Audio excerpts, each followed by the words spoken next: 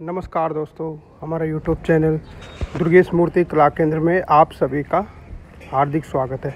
आप हमारे YouTube channel पर पहली बार आए हो, हमारी वीडियो पहली बार देख रहे हो तो लाइक करें, सब्सक्राइब करें, कमेंट्स करके बताएँ कि हमारे द्वारा जो बनाई गई माता, माँ सरस्वती की मूर्ति है वो आपको कैसी लगी।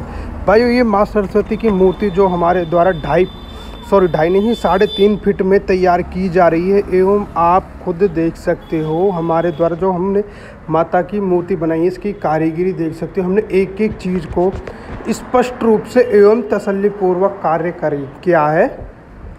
और आप देख सकते हो, वीणा वीणा में बहुत अच्छी हमने कारीगरी की हुई है। जय हिंद भाइयों।